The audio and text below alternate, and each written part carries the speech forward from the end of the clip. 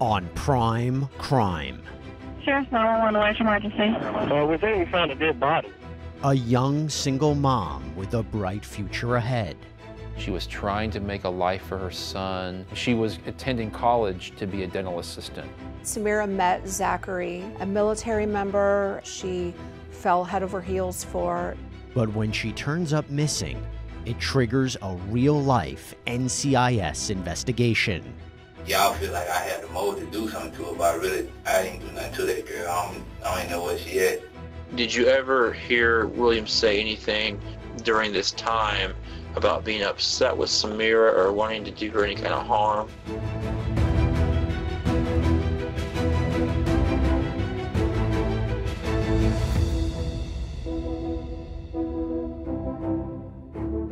Hey there, everybody. I'm Jesse Weber, and welcome to Prime Crime, where we break down the most compelling and memorable true crime cases from across the country. When 25 year old Samira Watkins vanishes near a Florida naval base, police have some suspects. But tying one of them to the crime is tougher than anyone expected. 911, where's your emergency? Um, it's like a non-emergency. We want to like report a missing person. Who is she? It's my sister, And what is her name? Samira Watkins. Where was the last place you saw her? The last place I seen her was um, Thursday night around eight o'clock. One of our officers responded to a call of a missing person. Uh, that officer realized that the circumstances of the incident seemed quite a bit fishy and contacted me with the need for an investigation to start immediately. Saturday, October 31st, 2009, Pensacola, Florida. Police Detective Jonathan Thacker interviews 911 caller Sylvia Watkins, whose older sister Samira has gone missing. Tell me from the very beginning everything that has happened that has made, made you concerned about your sister's well-being. Um, Thursday night, she um when she got off of work, she came home and she was getting dressed to go go to his house. On the night of October 29th, Samira had completed her shift at a local McDonald's restaurant where she was the manager. After that, she came home, changed her clothes, and indicated that she was heading out to meet her boyfriend, Zachary Littleton. Littleton was a 24-year-old member of the United States Navy. He was stationed at the Pensacola Naval Air Station. She was very excited about this guy she met who was in the military. She was looking forward to a future with him. She asked me to drop her off, but I was too tired. I was already in bed asleep. And um, after that, I guess she that's when she left. So it's around nine o'clock in the in the in the evening. All right, so she drove herself over, and we don't really know where she went, but we, we know that she was saying she was going to go to his house. Is that the last time that you've heard her? Her from yeah. Samira Watkins was a 25-year-old single mom. She was the oldest of five children in her family. She had a child of her own, a little boy of four years old. Uh, she was a manager at a local fast food restaurant, and she uh, was uh, going to college to be a, a dental assistant. She ever said anything to you that would make you think that she would just need to get away? Is this out of her character? No. She's never made any comments like, I just got to get away from things, or. No. Okay. When she didn't arrive home, her family and friends were very concerned. When did you start calling her? I started calling her that morning. That next morning. I had Friday morning? All throughout the day, I've been calling her like, And initially, it would ring and then go to voicemail. yeah. And I understand that now it doesn't even ring; it just goes to voicemail. Mm-hmm. When she stopped responding to the family when they couldn't reach her the next day, her sister went to look for her at Zachary's home. And that's when she got a real surprise. About 12, we went out there. Me and my cousin went out there. And that's when we knocked on his door. We didn't get no answer, so we knocked on the neighbor's door. And that's when she told us that he was loading a couch on the um, on a truck and said that he was moving because he needed a bigger place for his wife and kids. It was shocking because Zachary Littleton was leading a double life. He was married, he had a child. They told Samira his name was Ricky. He was not who he said he was. What we learned is that his wife was also in the Navy and was scheduled to actually move to Pensacola from South Carolina where she was stationed in the next week. But there's another twist to Samira's story. She found out she was pregnant probably like a month ago. And um she told him and he was saying that he didn't want any more kids. He's married.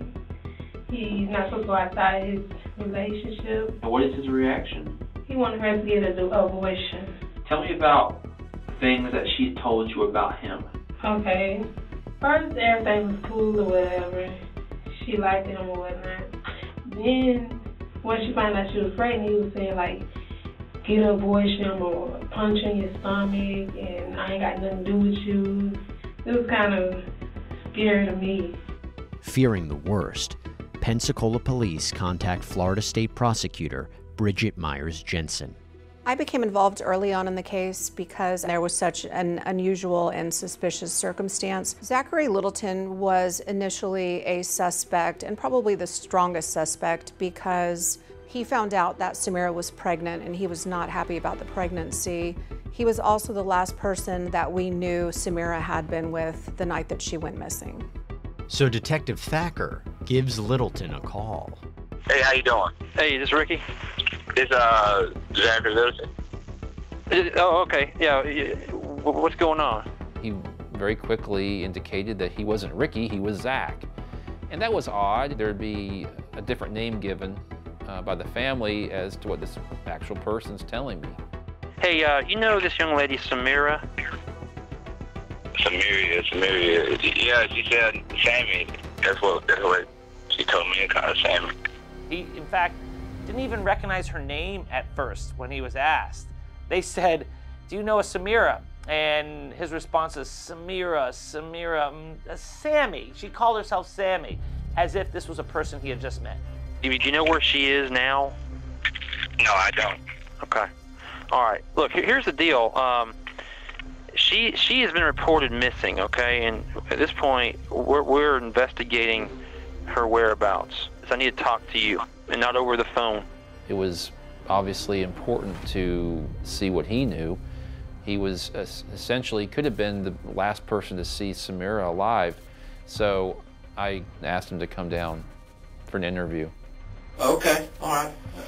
You'll have a seat here. You work for the Navy, right? Right. Uh, NAS Police Department. Okay, so you're like a, are you like a, like a, a military police? Okay.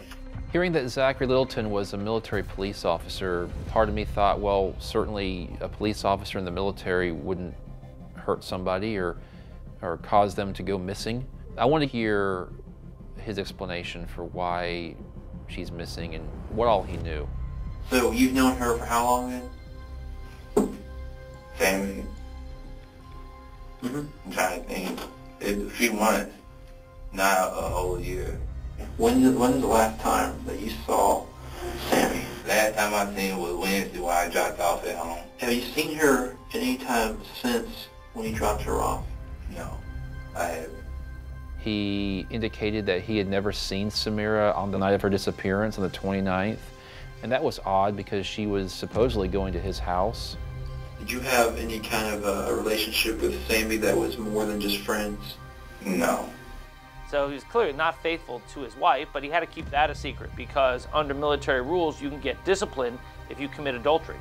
I, I want you to know that um, I, I, I'm not the military. I want you to feel free to tell me everything without you worrying about getting in trouble.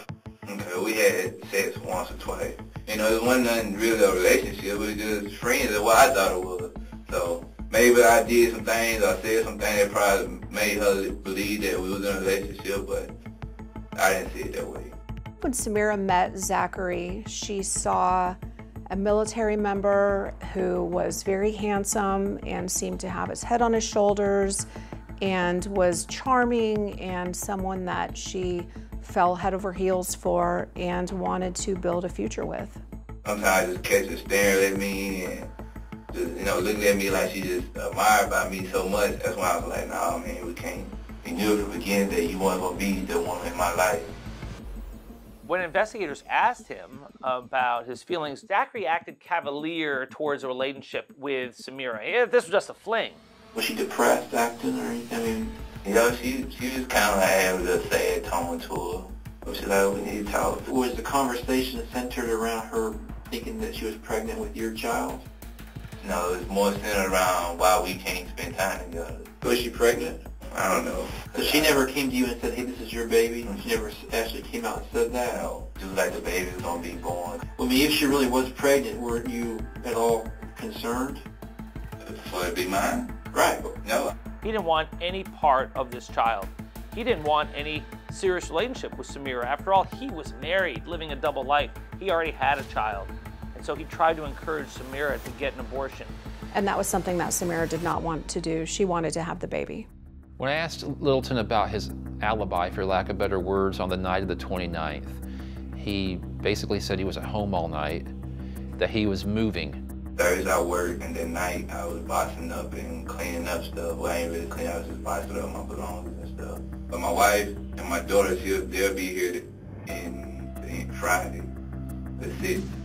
He was living in an apartment at that time here in Pensacola, and with his wife and his child being stationed within a week here in Pensacola, they, just, they had made a decision to leave the apartment and move into a home.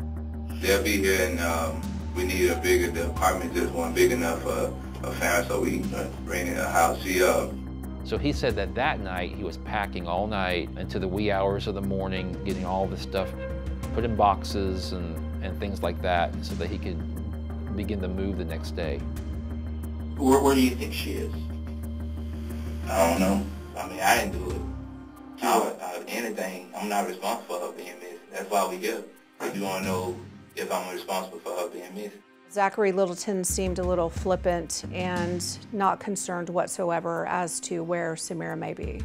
Clearly, Littleton doesn't want the affair to come out, but that on its face doesn't mean he's involved in Samira's disappearance, especially since there's another development.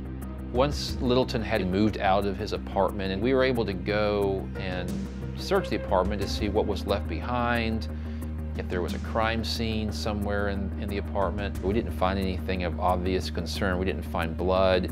We didn't find where an obvious struggle had occurred. We didn't feel like it would be prudent to focus solely on him. We began to research uh, Samira's past, and what we learned is that Samira had a, uh, a boyfriend uh, who had just gotten out of prison, actually, a guy by the name of William Peters. William Peters was the father of Samira's four year old child. They had had a very tumultuous relationship, both physically and mentally.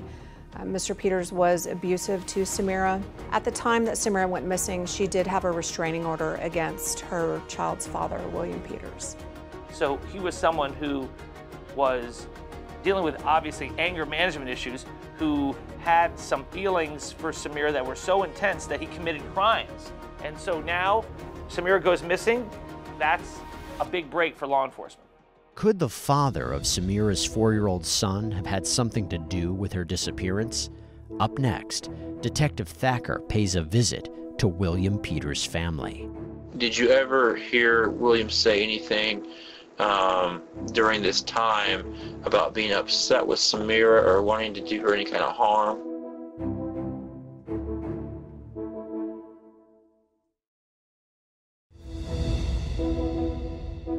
You're aware that she was um, last seen on October the 29th, 2009. Is that correct? Yes.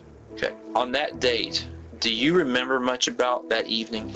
Well, I know I hadn't seen her that day, and uh, I had been here all day. She supposed to have came by to drop on her, but never did show up. Days after Samira Watkins was last seen alive, Pensacola Police Sergeant Jonathan Thacker interviews Linda Nobles. Linda is the mother of Samira's ex, William Peters, and the grandma of Peters and Samira's young son.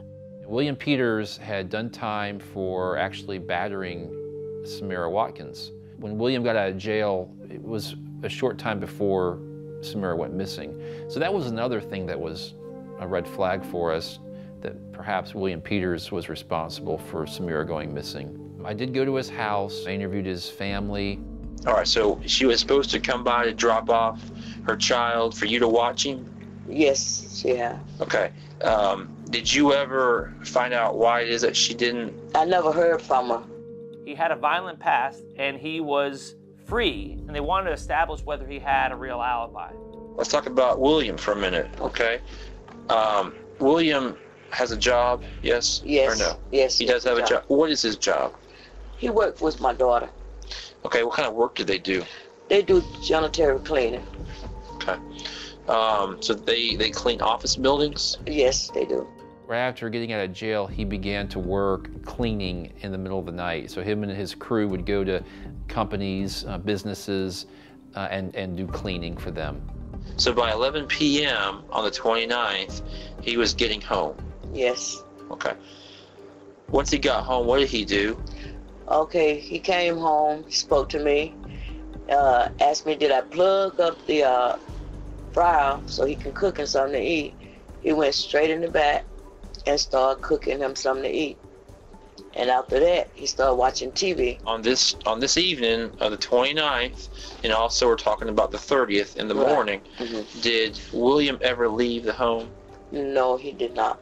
And on the night of the uh, of October 29th, I was able to verify that William Peters was actually on a crew that night cleaning, um, and I had his alibi pretty well secured at that point. And therefore, he was ruled out as a suspect. And there was something else that convinced investigators that William Peters wasn't their man. When William Peters was notified that Samira was missing, he was very upset and obviously concerned for her safety as well as her whereabouts.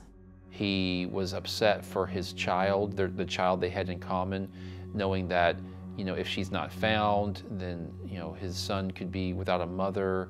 Um, you know, so he had, he was showing genuine concern uh, for Samira's well-being. In stark contrast to Zachary Littleton, who really didn't show much concern at all. Detective Thacker turns his attention back to Zachary Littleton, the man who was secretly having an affair with Samira and caused her to be pregnant. Thacker brings Littleton in for another interview. Did your wife know that you were talking to this girl? No, Okay. Would that be a problem if she knew that? no, cause she knew she knew I have a lot of friends, and uh, she didn't know about. She don't know about Sam. She don't know their name. I put it like that. She know I talked to other girls. During the course of the interview with Littleton, we talked to him about his cell phones, and he indicated that he had at least two cell phones. And he wasn't really shy as the interview progressed. He wasn't shy to indicate to us that one of those phones was kind of for the girls to call him on. Zachary was known on the base as a player, a playboy, someone who had multiple relationships. In fact, later on, when he was talking to police, he said that Samir was just one of many extramarital relationships he had. What I learned was that the phone was a, uh, we call a burner phone. Zachary Littleton was using the burner phone to call Samira. And it was uh, the kind of phone that you get at um, maybe a convenience store. It, it, you take it home, you register it online or over the phone, and you don't have to give a lot of information to the companies that, that service those phones. I had two cell phones. I had a um, Boost mobile phone, and uh, she was that number she used to call me on. I was like, I cut that phone off. So the boost one, she used to call you on that, Mm-hmm. and, you, and why'd you shut it off again? Cause I was getting text messages, just didn't want to have nobody calling me and harassing me about anything, so I cut it off. And hearing that just kind of started to build uh, an understanding of the kind of person that, that Littleton was. Zachary had a cavalier attitude towards the relationship and the child. In reality, it was always about him. As Littleton talks about Samira, something strikes the detective as odd. I'm trying to recreate this young lady in my mind. I don't know her. Right. And if I can recreate her and kind of get in her head, I might be able to find out where she's at, um, what her demeanor was like. Um, She was a real calm girl. She wasn't no feisty type or no. Yeah. She was real, just calm, you know. I ain't gonna say she was. She was nice. You know, she was had. She had good tendencies to be a good woman. I it like that. He used her name in the past tense a lot. when he would refer to her, which at that time it was a uh, missing person. Missing persons often are found alive and perfectly fine. In fact, they usually are. And he was already referring to her in the past tense. What do you think happened with her? In what aspect? I mean, where's she at now? I don't know. They said she was on the way to my house. I, Okay, what do you think though? I hope she okay. I mean, I, I understand that, but I mean, what do you think? I She, mean, I- what do you I- think? Y'all feel like I had the motive to do something to her, but I really, I didn't do nothing to that girl. I don't, I don't even know where she at. She didn't come to my house Thursday, so Zachary Littleton was stonewalling investigators. She was pregnant, and he was trying to protect his family and his career. Under military rules, adultery is an offense. You get sanctioned for that. Plus, he's married with a child, and so you can see why a child with his mistress could complicate things at home and at work. Detective Thacker has hit a dead end with Zachary Littleton. But the very next day, four days after Samira disappeared, there's a major turn of events. Sheriff's 911, where's your emergency? Yes, ma'am. It's a Navy Point. Okay, what's the Navy Point? Uh, we think we found a dead body. It's in it's in a bag, a big old like like a big old like bag you carry on a plane. It looks like it has blood over it. Has a big old lock upon it. It's off the beach. It's real heavy. On Tuesday, November 3rd, I was notified that a duffel bag had been located, washed ashore in a local body of water right ac- across from uh, the Pensacola Naval Air Station. The people that found it, which were jet skiers, were concerned enough to call law enforcement. When they discovered the black duffel bag, there was a very foul odor coming from it, and it obviously appeared to be uh, suspicious. So inside of this bag, in the fetal position, was the body of a black female. It would end up being Samira Watkins. Um, she had duct tape wrapped from her chin up to just uh, below her eyeballs, all the way around her head.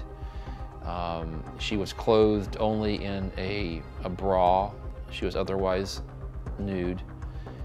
Um, inside of the bag, there was uh, a Clorox wipe that was kind of balled up and in the bottom of the bag. And there was also a paper towel. A fingerprint analysis is performed on site and confirms the body is Samira's. And this would be the break that law enforcement needed in this case. Upon finding the body in the duffel bag, this case transformed from a missing persons case to a homicide. The medical examiner ruled that Samira had been asphyxiated and that, uh, it was, that she was suffocated. Uh, my theory was that she was likely strangled by whoever killed her. The autopsy also reveals what could be an important clue. When the autopsy was done on Samira, the medical examiner removed the duct tape from around her face and around her head, around her ears, and it was noticed at that point that she was only wearing one of her gold hoop earrings. And the reason this was so significant is because these earrings were so sentimental to her, and according to her family members, she wore them all the time. Surveillance footage from the fast food restaurant where Samira was working the night she was last seen showed her wearing both earrings. And she only had one. The other one had fallen off at some point. And I surmised that she probably lost that earring during some kind of an altercation, and it probably dropped at or near the place where uh, she was assaulted and then later killed. So whoever had the other hoop earrings was going to be the main suspect in her death. Investigators strongly suspect that person was Zachary Littleton. However, they still have no direct evidence connecting him to the crime, so they call in the big guns, the Naval Criminal Investigative Service, the NCIS.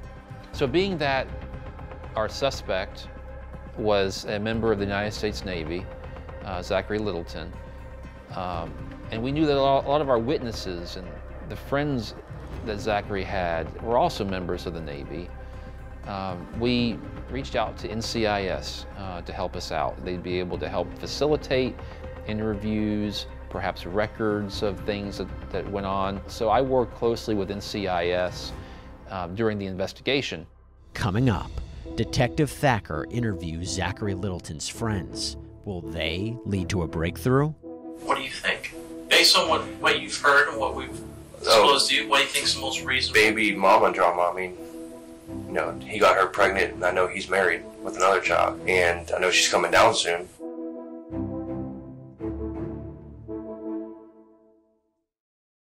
Hey, everybody, we're going to get you right back to the Samira Watkins case in a minute. But before we do, I want to call out one of the sponsors of this episode of Prime Crime, Truth Finder. So, in a world where we have to ask, how well do we really know the people in our lives? Truthfinder is a service that can maybe provide you some answers because it's one of the largest public records search services in the United States. You go on the website truthfinder.com, you type in a name, and within minutes and a paid subscription purchase, you can access unlimited reports that can include information like phone numbers, location history, criminal and traffic records, including possible arrests, criminal convictions. Also, if you type in an address within a report, it can show you registered sex offenders in an area, which is honestly just kind of wild to see.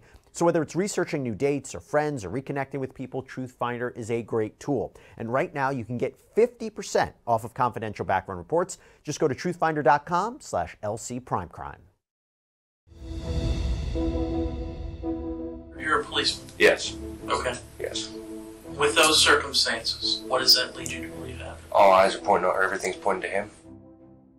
Early November 2009, just days after Samira Watkins' murder, investigators try a new tack to find out who killed her and dumped her body near the Pensacola Naval Air Station in Florida. Could it be Navy police officer Zachary Littleton, the man who was having a secret affair with Samira? Police interview Littleton's friends and colleagues. Did you work on Thursday? Yes, I did. past Thursday? Yes, I did. When did you next hear from Littleton? Oh, in the parking lot. When? That that evening, after we downloaded, because we were making plans for me to go over the next morning and help him move from his apartment to his new house. All right, so it's in the parking lot that he approached you about helping him move. Yeah, yes, sir. Okay. And what time was that? About 10, 10, 15-ish, maybe. I mean, at the, at the latest. Zachary Littleton was uh, at work at the base earlier in the evening that he left his job. He uh, drove directly up to his house, and he's arriving at his house just before uh, Samira would also arrive at his house. Littleton followed up with his friend the next day, the morning after Samira was last seen. That morning, he he texted me about 7 something in the morning, and I was still sleeping. And I woke up at about 8.30ish, and he said, can you be here by 9? But I couldn't get there until 9.15. All right, so you guys arrive at his house, and what start? What, what happens at his house? Um, we were standing there. We basically made up like a like a game plan on how we want to start moving everything, and uh, he backed the truck up, and then we started taking the furniture down. But surely he has other things, you know, knick-knack things, clothing. Yes. So I asked him, I was like, "Why isn't your clothes packed?" And he said, "I don't have any luggage." Then He pulled all his drawers out, and he just set them on the side, and we didn't move those out. They were when I left, they were still in his bedroom. While Zach was supposed to be ready, he wasn't. So that kind of messed up his alibi even further that he was indicating to us that he was at home packing all night when in reality, nothing was done. If that seems suspicious, what Littleton did earlier that same morning really raised detectives' eyebrows. We, we did have a friend come forward that said that on the morning of October 30th, so we're talking about the morning after Samira's disappearance, Zach comes to her house at 5 a.m., so very early, and he's um, asking if he can do his laundry over at her house. Is it usual for him to want to come to your house at four and five in the morning? Does that strike you as a little odd? Yeah, but he said he'd just been packing all night. Did make us feel like he was probably doing that to destroy some sort of evidence or to wash away blood or something along those lines. Littleton's supervisor raises more suspicions about the night Samira went missing. Is there anything that you can think of that For an interview? pertinent? That you think we should know, or something that you might recall that might be important? Um, you know, me being his mentor, I asked him, you know, is he okay? And he said one thing. He said that, yeah, she came over and asked to stay over. And I told her, uh, I don't want her to come over here. So I took her home. And I said, took her home. Like, if he took her home, what happened to a car, and stuff like that. What night was he saying that was? Thursday. That statement directly contradicts what Littleton's been saying that he last saw Samira on Wednesday. Now, investigators start to put the pieces together. The theory that I have is that Samira made it to Zachary's uh, apartment and whoever killed her or uh, put her in the bag um, likely used her own car to transport her body to that waterway. And it seems Detective Thacker was right on the money. It was several days later that we had a neighbor contact the police to say that they had located a red Ford Taurus. Now that Taurus was parked in a, a driveway and it had been there for several days. So when we got there, we found that, that it, it was indeed Samira's car. My theory was that after dumping her body, Zachary Littleton also dumped the car and left it there in that driveway. Law enforcement found Zachary Littleton's DNA on the steering wheel of Samira Watkins' car. He had mentioned in one of his interviews that he had never been in her car, much less driven it, so that was obviously very important. On November 6, we conducted a search warrant at Zachary Littleton's home. Now, keep in mind, we believed that when the murder occurred, he was living at the apartment. We had looked in the apartment, found that there was nothing there of value, but we also knew that a lot of the evidence he could have very easily moved with him, either knowingly or inadvertently. When law enforcement was going through the different areas of his house, inside of one of the bedrooms were some paper towels that had a pattern that were consistent with the paper towels that were found inside the duffel bag. And there was also a can of Clorox wipes that were consistent with a wipe that was found in the duffel bag. The number one most valuable item that we found, the thing that was the best piece of evidence, was the earring. Uh, an earring that matched exactly the earring that Samira Watkins had. There were a lot of pieces of evidence that were important to the case, but certainly the gold earring was a uh, smoking gun. Now, investigators have the best idea so far of what happened to Samira Watkins.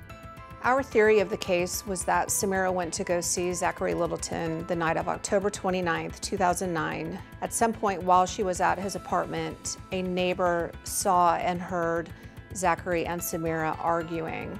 We believe that same night, Samira was suffocated or smothered or somehow asphyxiated inside of Zachary Littleton's apartment. He then wrapped duct tape around her face. He placed her naked body in a duffel bag he took the duffel bag from his apartment and put it in the trunk of her car. He then drove to the other side of town and threw her body into the bayou.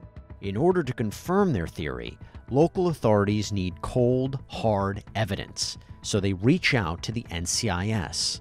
One of the things that NCIS helped us out with is that there was new technology at the time for cell phone mapping, specifically cell phone tower mapping.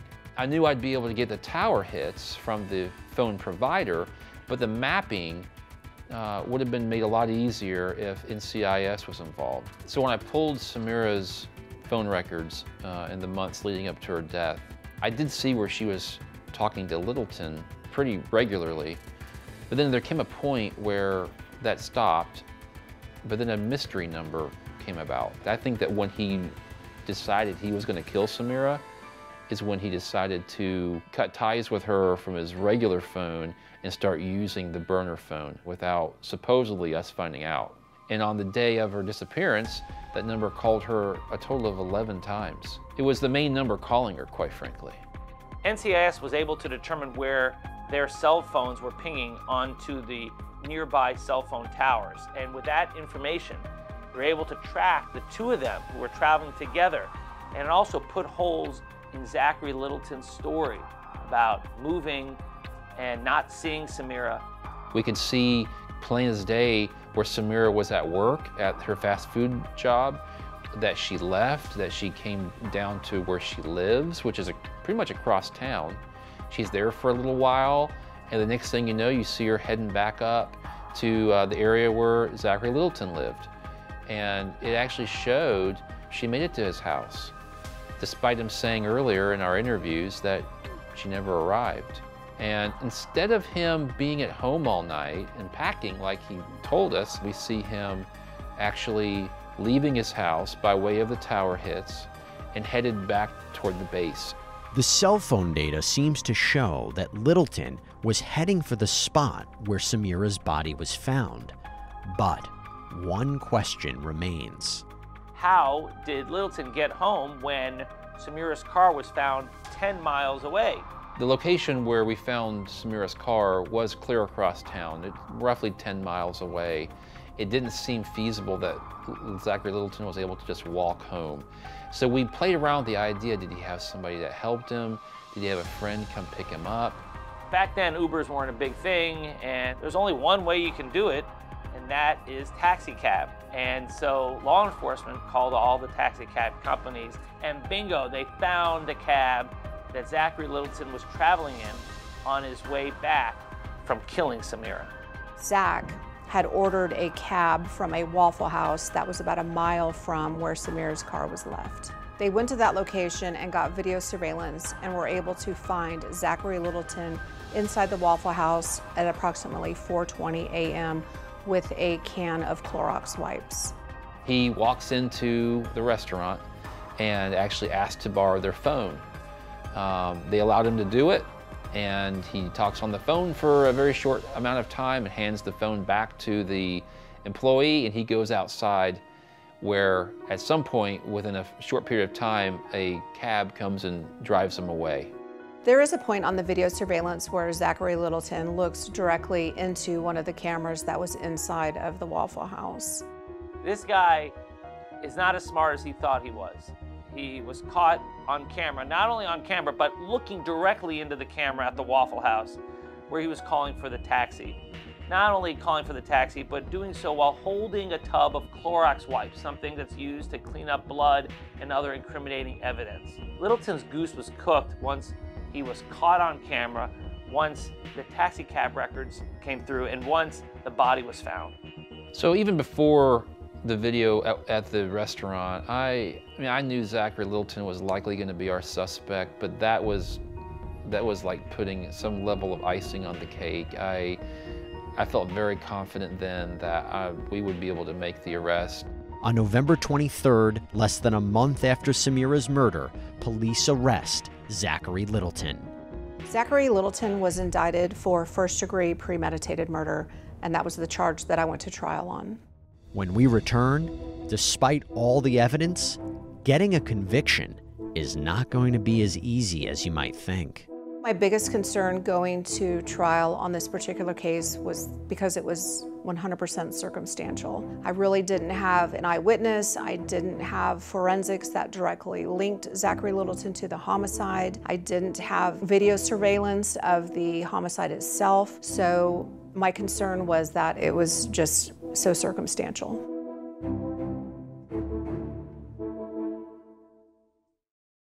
Hey everybody, we're going to get you right back to the Samira Watkins episode in just a minute, but before we do, I want to call out one of our great sponsors of Prime Crime, Morgan & Morgan, America's largest injury law firm. Look, if you should find yourself in that position where you're hurt and you need legal representation, Morgan & Morgan may be who you want in your corner because they're specialists in this area. And you know why they're so big? Because they win a lot, verdicts and settlements in the multi-millions across this country. Yeah, and they don't settle for lowball offers. They also make the process so easy for their clients because from starting your claim to uploading documents to signing contracts to talking to your legal team, it can all be done from your smartphone. Also, there's no upfront fee. You only pay them if you win. So if you're injured, you can easily start a claim at forthepeople.com slash primecrime. When I have a case like this, I look at all the possibilities. Right. Okay? If you're responsible not to, it's possible that you kill her. Right. June 27, 2011, Escambia County, Florida. Almost two years after Samira Watkins' murder, Zachary Littleton's trial begins. My strategy going into the trial was to create a timeline that went from the beginning of summer when Zachary and Samira first met into November when her body was discovered and the earring was found in his house. And then in between that timeline, trying to plug in pieces of evidence that would create a clear picture of Zachary Littleton's guilt. The defense relies on the lack of direct physical evidence. A challenge for prosecutors was that there wasn't clear blood or DNA evidence linking Littleton to the murder. And prosecutors had to still put the pieces of the puzzle together. And Littleton chooses not to take the stand. So although the jury doesn't hear him testify on the stand, they saw him in the police interviews, being a sociopathic liar. Was she saying that it was your baby? She had never said it was my baby. All those lies show consciousness of guilt, show what kind of person he is, and made it clear to the jury this was someone who you could not trust. Zachary Littleton's demeanor during the course of his trial was confident and almost borderline arrogant. He seemed to be more concerned about what he was wearing and how he looked as opposed to the evidence that the state was presenting against him. Prosecutors had a really good case. They had the gold hoop earring. That's as close to a smoking gun as you can get in this case. That's direct evidence that he was the one who committed this heinous crime. How did the other gold hoop earring get into Zachary Littleton's apartment unless he was the one who killed her? And then, of course, the cell tower records that show the location of Zachary Littleton and Samira the night she went missing because it put them in the exact same area. And prosecutors have another weapon in their arsenal. Some of the most important pieces of evidence to show the jurors were some searches on Zachary Littleton's computer. These searches included um, how long does it take for a body to decompose, he was looking at uh, searches related to putting a body in a landfill, how to cause a person to have an abortion, uh, does drinking vinegar cause an abortion? He was Googling abortion locations within our city. Those searches then turned into how to speed up human decomposition, and then they led into how to pass a polygraph. So his searches were obviously key in the time frame of you know, beginning when she was pregnant to then wanting to cause a miscarriage to then when he was being interrogated by law enforcement. That is so bad for the jury. There is no way to explain it other than you just killed your girlfriend and you're trying to ensure that you don't get caught. They had this guy dead to rights. You don't have to have too much direct evidence when you have this mountain of circumstantial evidence. Three days later, on June 30th, the jury begins deliberations, and they reach a verdict quickly. It only took the jury three hours to reach a verdict in this case. Once the evidence was presented and the timeline was proven and the alibi was discounted that he tried to provide, I think it was very clear to the jurors beyond a reasonable doubt that he was in fact the person that murdered Samira Watkins. The jury finds Zachary Littleton guilty of first degree premeditated murder. Jurors clearly had a visceral reaction to Zachary Littleton. Zachary seemed to use his position, his power, for nefarious means by getting, gaining the confidence of Samira to make her believe that he was someone who he was not. But it's also someone who the jury would hate a liar, a cheat, and a killer. Zachary Littleton was sentenced to life in prison without the possibility of parole. I believe that justice was served for Samira Watkins for her unborn child, for her four year old little boy, and for the rest of her family members that loved her so much. He'll be in prison for a very long time. He was 24 years old when this happened, and he, um, he's got a lot of life left where he'll have to do it behind bars.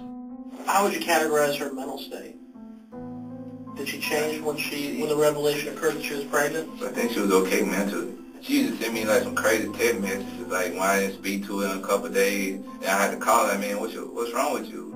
So I believe that Zach uh, Littleton made the decision to murder Samira because he was he was desperate. He had a couple different things working against him. One of them, being in the military, it's against their code of conduct to commit adultery. Uh, he would have likely lost rank if they had found out that he had uh, been having affairs, that, that he had gotten somebody pregnant that wasn't his wife. He would have been in trouble for that. He also had working against him the fact that his wife, she had found out in the past that he had done things like this um, and that she had given him an ultimatum that you, you know, if you did that again, we're not going to stay together. This case was obviously so tragic because it involved such a young, beautiful, vivacious mother of a small child that was really just trying to make the best life that she could, that was trying to do something with herself. And then to have that taken away at such a young age for such a senseless reason. A trail of lies and deceit ends with the death of a young woman who only tried to make a better life for herself and her little boy. Instead, Samira Watkins' son is left without a mother, and her tight knit family has lost their beloved older sister. That's all we have for you here on this episode of Prime Crime. Everybody, thank you so much for joining us. I'm Jesse Weber, and as always, stay safe.